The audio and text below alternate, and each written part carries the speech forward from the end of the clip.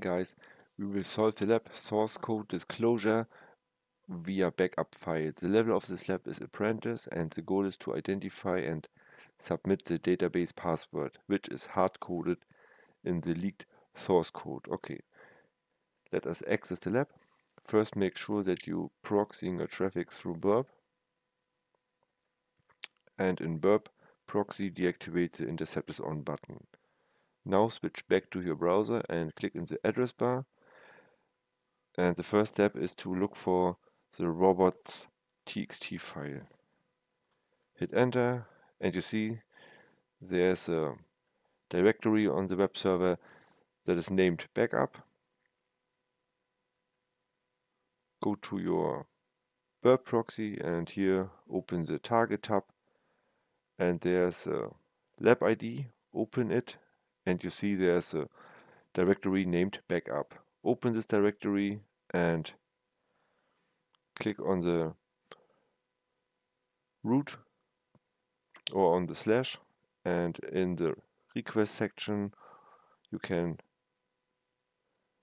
click the right mouse button and send this request to burp repeater. You can also send it by clicking it direct in the directly in the directory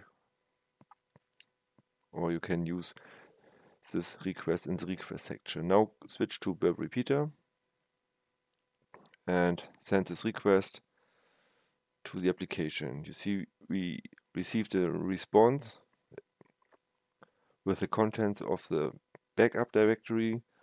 Scroll down and look for a Java file.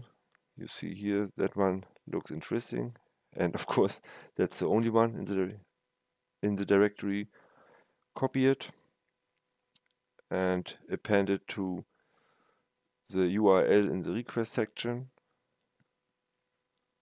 and click the send button again. Now you see in the response section we, we received an HTTP 200OK with the content of the Java file. Scroll down and you see here connection builder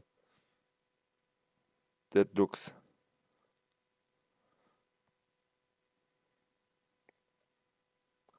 That, that looks fine and maybe that's our password. Okay copy it.